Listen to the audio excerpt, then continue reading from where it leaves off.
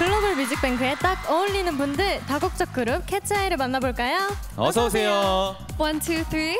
Hi, we're Cat's Eye. 오, 네, 캐츠아이 여러분 반갑습니다. 다국적 그룹이신 만큼 전 세계 예금주분들에게 여러 언어로 인사 부탁드려요. 안녕하세요, Cat's Eye 막내 윤채입니다. Hi, I'm Cat Size Kiomdongi, Megan. Hallo, ich bin Manon, KATSEYE 맏언니. Wow, 뮤직뱅크 한층 더 글로벌해진 것 같은데요. 오늘 보여주실 무대는 어떤 무대인가요?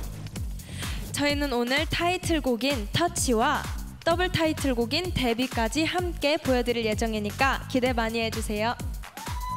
네, 그 오늘을 위해 특별히 준비해 오신 게 있다고요.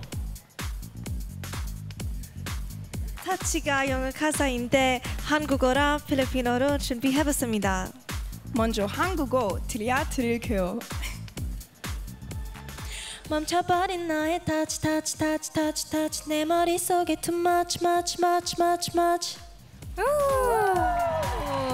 다음은 필리피나입니다 Ba't kaya ka out of touch? Sa'yo na sana ang my love pero ikaw ay out of touch 와우, 네 좋습니다. 그럼 다채로운 매력 캐치아이의 무대를 보기 전에 만나볼 무대가 있죠?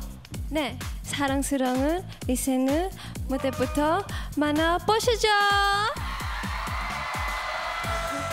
다 같이 뮤직 큐!